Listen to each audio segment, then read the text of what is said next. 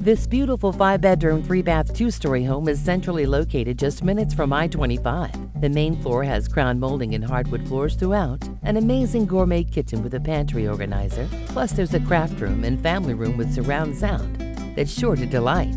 Upstairs offers five bedrooms with large walk-in closets and a great loft. The master bedroom has two walk-in closets plus a five piece master suite. Enjoy a great covered porch perfect for outdoor living. Call Ryan Harper before this one is gone.